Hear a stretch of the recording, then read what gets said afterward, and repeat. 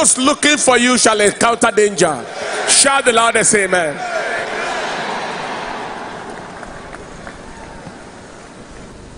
Dunamis International Gospel Center.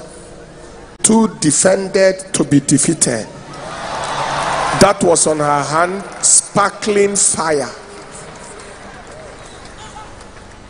The meaning of that is everything that has come into contact with an anointed place carries fire. That was a statement made from the altar under fire that was burnt into this on her hand. Who is that person carrying phone? Because it was sparkling fire. We have people in our country who are making living out of human lives, but they shall proceed no further. I prophesy to somebody here you shall not be wasted like chicken. Where blood is shed, yours shall not be shed anyhow. You shall not be wasted like chicken.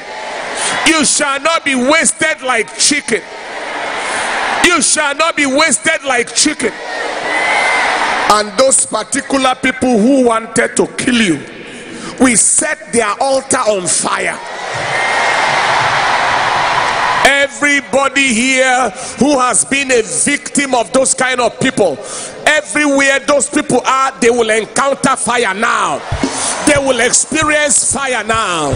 Shout the loudest, Amen. I am too defended to be defeated. I am too surrounded, by, fire to surrender, to destruction. Shout the loudest. Amen. Shake three hands around you and tell them you cannot be wasted like chicken. You cannot be wasted just like that. Congratulations.